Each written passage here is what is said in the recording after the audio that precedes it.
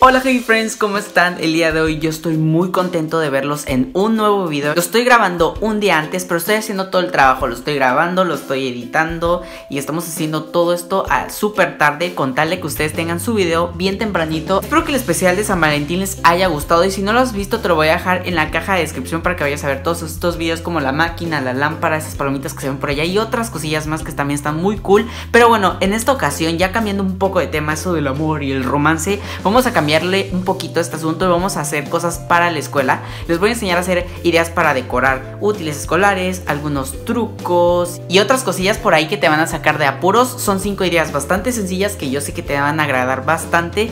Y ya, vamos a comenzar, pero por favor, por favor, Javier. Antes de que empiece el video, no olvides suscribirte para que no te pierdas ningún video nuevo que estamos subiendo a este canal.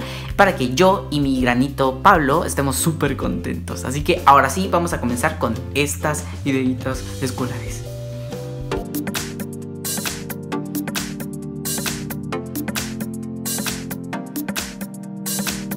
Esta idea está súper padre cuando te encargan decorar una portada y lo quieres hacer súper rápido. Vamos a necesitar unos plumones, yo tengo estos que tienen un aroma súper rico.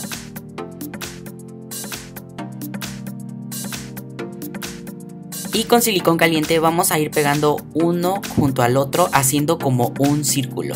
Yo lo hice en el orden del arco iris, pero tú puedes utilizar tus colores favoritos. Puedes combinar, por ejemplo, todas las gamas de color rosado o de tu color favorito para que esto se vea más padre y como un tipo de degradado. Y listo, ahora tenemos un plumón de muchos colores. Solamente deslízalo sobre toda la hoja. Esto está padre porque lo puedes utilizar para decorar una portada o para cuando estés aburrido. Vamos a hacer lápices de colores en menos de 5 minutos. Obviamente vamos a necesitar unos lápices y yo voy a utilizar washi tapes que de hecho me acaban de regalar y me encantan así que vamos a probarlos. Las washi tapes son como una cinta, pero estas están hechas de papel de arroz y esto es mucho más fácil porque se pueden cortar sin la necesidad de unas tijeras. Así que esto va a hacer el trabajo mucho más rápido. Si tú eres de esos que se aburren muy fácilmente, esto lo puedes ir retirando y colocándole otras nuevas. Por ejemplo, este lo estoy haciendo en el orden del arco iris, ya lo saben muy bien. Pero ahorita les voy a enseñar a hacer otras ideitas.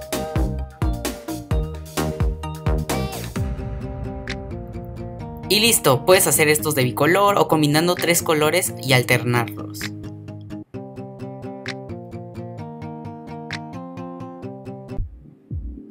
Ahora vamos a hacer un borrador USB qué mejor que tener dos cosas en una misma. Así que lo único que vamos a hacer es utilizar un borrador. Este está enorme, yo lo sé que es casi una grosería, pero tú tranquilo, también en las gomas normales pueden caber una USB. Así que lo que voy a hacer es con un lápiz marcar el contorno de mi USB y después con un cúter o con un cuchillo vamos a recortarlo. Por favor tengan mucho cuidado porque inclusive yo tenía miedo de cortarme. Así que si estás pequeño pide la ayuda a un adulto, ¿de acuerdo? Ya que tengas el agujero, ahora sí, vamos a colocarle silicón y poner la USB.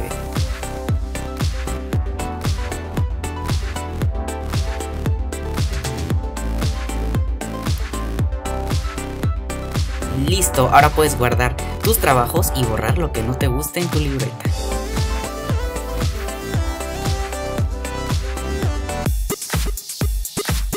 Vamos a hacer trampa con las planas que nos ponen a hacer los maestros.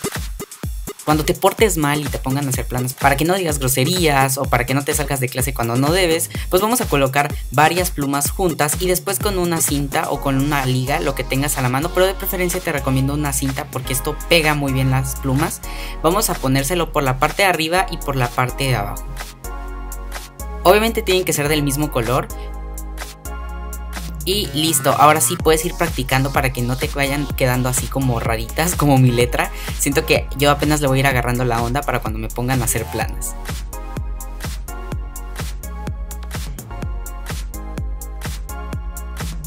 Yo sé que muchos utilizan estos plumones solamente para dibujar, pero también puedes utilizarlo para hacer los títulos de tus libretas y te voy a enseñar de una manera súper padre.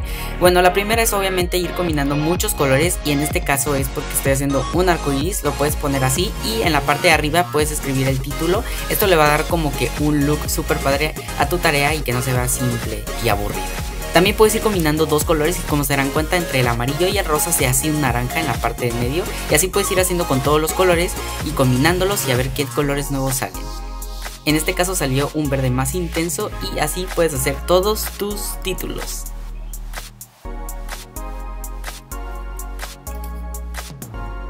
Y bueno, eso es todo por este video, espero que les haya gustado muchísimo. No olviden regalarme un like para que yo sepa que estos videos les están gustando. Tampoco olvides seguirme en mi Instagram porque ahí siempre estoy subiendo historias. Bueno, que ahorita sí les he estado fallando, pero por lo mismo de que estoy trabajando el video Los voy a ver en un próximo video porque voy a empezar a subir muchos videos a la semana. Los días martes, los días jueves, los días viernes y los días sábados. Así que para que no se los pierdan y ya, yo con mucho gusto los veo en el próximo video. O sea, sí